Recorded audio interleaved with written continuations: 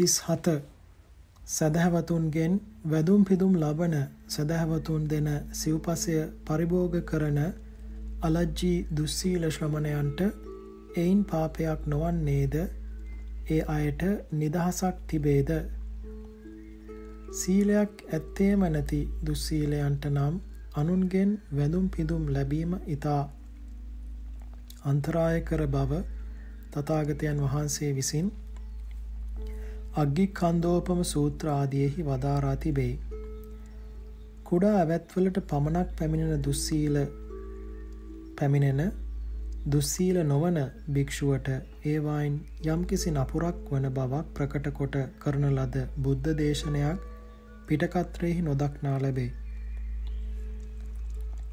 ලක්කන සංයුක්තයෙහි එන කරුණු අනුව බලන කල්හි කුඩා කුඩා සිකපද වුවත් නොරකමින් ඒවා ගැන සැලකීමක් නොකොට විනෝද සුවයෙන් කල්යවන භික්‍ෂූන්ට අපායෙහි උපදින්නට සිදුවන බව කිය යුතුය.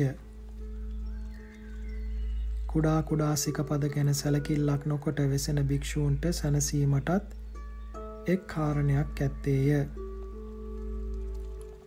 අග්ගි කන්දෝපම සූත්‍ර දේශනය කිරීමෙන් පසු එය ඇසූ බොහෝ භික්‍ෂූහු අපට දිවිහිමියෙන් පිරිසුදු ලෙස මේ ධර්මය අනුව පිළිපාදින්නට නොපුළුවන මනාකොට සිල් නොරැක සැදැහවතුන් දෙන සිව්පසය පරිභෝග කිරීමත් සුදුසු ඇත. එබැවින් මේ මහනකමෙන් අපිට කම් නැත කියා සිවුරු හැර යන්නට වූහ. එයින් භික්‍ෂූහු බොහෝ අඩු වූහ.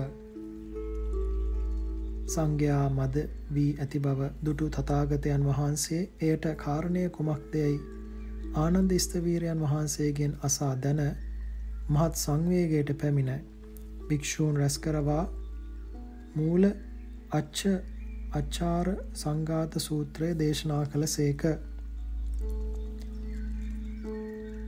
මේ සූත්‍රයෙන් දැක්වෙන්නේ යම් භික්ෂුවක් අසුරක් ගසන තරම් කාලයක්වත් මෛත්‍රී චිත්තය පවත්වනවා නම් ඒ භික්ෂුව බුදුන් වහන්සේගේ අනුශාසනය කරන රටවැසියා දෙන දානය සුදුසු පරිදි වළඳන කෙනෙකු බවය. යම් භික්ෂුවක් වැඩිවේලාවක් මෛත්‍රී භාවනාව කරනවා නම් ඒ භික්‍ෂුව රටවැසියා දෙනදානය වැළඳීමට සුදුස්සෙකු වන බව ගැන අමුතුවෙන් කියයුත්තක් නැත. අච්චරා සංඝාත මත්තම්පි මෙත්තං ආසේවන්තස්ස බික්කුණෝ දින්නං දානං මහට්ටියං හෝති මහප්පලං මහානිසංසං මහාජුතිකං මහා විප්පාරං යනුවෙන් අටුවාවෙහි ඇසුරුසනක් පමණ කාලයක් වුවද මෛත්‍රිය කරන භික්‍ෂුවට දෙන දානය මහත්ඵල මහානිසංස බව දක්වා තිබේ. දෙන්නා වූ දායකයාට මහත්ඵල වන බැවින් ඒ භික්‍ෂුව දායකයාට නයකාරයකු නොවී දායකයාගේ දානයට හිමියකු වී ඒ දානය වලදන්නේය. එයින් ඒ භික්‍ෂුවට කිසිම පාපයක් නොවෙයි භික්‍ෂූන් වහන්සේලා තමන්ට වදින අය සුවපත් වේවා යනාදී මෙත් කිරීම පුරුදු කරගෙන තිබෙන්නේද මේ කරුණ නිසාමය සීලේහි දෝෂයක් අඩුපාඩුවක් ඇතත් වදින්නා වූ තැනැත්තාට සුවපත් වේවා යනාදීන් මෙත් කිරීමෙන් භික්ෂුව වන්දනාව පිළිගැනීමට සුදුසු වෙයි. එය පිළිගැනුමෙන් භික්ෂුව හට වරදක් නොවෙයි. තෙయ్య පරිභෝග ඉන පරිභෝග දායජ්‍ය පරිභෝග සාමි පරිභෝග කියා බුදුසසුනෙහි සැදැහවතුන් පුදන සිව්පසය පරිභෝග කිරීමේ ආකාර හතරක් ඇත. භික්‍ෂූන් වහන්සේට ගිහියන්ගෙන් චීවර ආදී ප්‍රත්‍ය ලැබෙන්නේ තථාගතයන් වහන්සේගේ අනුදැනීම නිසාය.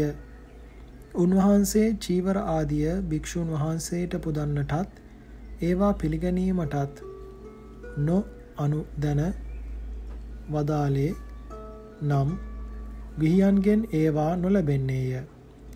උන්වහන්සේ විසින් චීවර ආදිය අනුදන වදාරා ඇත්තේ සිල්වතුන්ට පමණකි. එබැවින් ඒ සිව්පසය සිල්වත් භික්‍ෂූන්ට මිස දුසිල් මහනුන්ට අයිති නැත. දුසිල් මහනුන් විසින් ඒ සිව්පසය ලබාගන්නවා නම් එය සොරකමකි. දුස්සීලයාගේ සිව්පස පරිභෝගය තෙయ్య පරිභෝග නම් වෙයි. සොරකමින් කරන පරිභෝගය යනු එහි තේරුමයි. සිල්වත් භික්ෂුව විසින් වුවද සිව්පස පරිභෝග කළ යුත්තේ ප්‍රත්‍යවේක්ෂාව ඇතුළුවය. ප්‍රත්‍යවේක්ෂාවක් නැතිව ප්‍රත්‍ය පරිභෝග කළහොත් සිල්වත් භික්ෂුව වුවද දායකයන්ට ණයකාරයෙක් වෙයි. දායකයන්ට ණයකාරයෙකු වන පරිදි ප්‍රත්‍යවේක්ෂා නොකොට සිව්පස පරිභෝග කිරීම ඉන පරිභෝගය නම් වෙයි. සෝවාන් සකදාගාමි අනාගාමි යන ආර්ය භික්ෂූන් වහන්සේලා තථාගතයන් වහන්සේගේ උරුමකාරයෝය. උන්වහන්සේලාගේ සිව්පස පරිභෝගය දායජ්‍ය පරිභෝග නම් වෙයි. සකල ක්ලේශයන්ගෙන්ම පිරිසිදුව සිටින බැවින් රහතන් වහන්සේලාම පින් සලකා දෙන ප්‍රත්‍යයට සර්වාකාරයෙන්ම හිමිකම් ඇත්තෝය. එබැවින් උන්වහන්සේලාගේ ප්‍රත්‍ය පරිභෝගය සාමි පරිභෝග නම් වෙයි. සම්පූර්ණයෙන්ම හිමිකම් ඇතුව කරන පරිභෝගය යනු එහි තේරුමයි. අසුරු සැනක් පමණ කාලයකදී වුවද මෙත් වඩන්නා වූ භික්ෂුවට දෙන දානයද මහත්ඵල මහානිසංස වන බැවින් එසේ මෙත් වැඩීම කරන භික්ෂුවද දායකයන් දෙන ප්‍රත්‍යයට සුදුසු වීමෙන් හිමියෙක් වෙයි. එබැවින් ඒ භික්ෂුවගේ ප්‍රත්‍ය පරිභෝගයද ස්වාමි පරිභෝගයටම අයත් වෙයි. මෛත්‍රී භාවනාව කරන භික්ෂූන් පමණක් නොව අනෙකුත් සියලුම භාවනා කරන භික්ෂූන්ද දායකයන්ගෙන් ලැබෙන සිව්පසයට හිමියන් වන බව දක්වා වදාළ තවත් අච්චරා සංඝාත සූත්‍ර බොහෝ ගණනක් අංගුත්තර නිකායේ ඒකක නිපාතයේ ඇත්තේය. එබැවින් කිනම් භාවනාවක් වෝද කරන භික්ෂුව රටවැසියාගෙන් ලැබෙන සිව්පසය පරිභෝග කරන්නෙකු වන බව කිය යුතුය. මෙකල වෙසෙන බොහෝ භික්ෂූහු මද වේලාවක් මුත් භාවනාවක යෙදෙන්නෝය. එබැවින් ඒ හැමදෙනා වහන්සේම සැදැහැවතුන් දෙන ප්‍රත්‍ය පිළිගැනීමට සුදුස්සෝ වෙති. හරියට සිල් රකින්නට නොපුළුවන් භික්ෂුවට ඇත්තා වූ පිහිට භාවනාවයි.